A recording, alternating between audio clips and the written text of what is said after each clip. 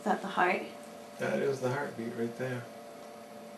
Can you see it okay, dear? Mm-hmm. The head was down here. Yeah, I know. I could feel it. This is fluid right here. This is afterbirth up here. You mean the placenta? Placenta, yeah. So is the placenta like down where it shouldn't be? Nope.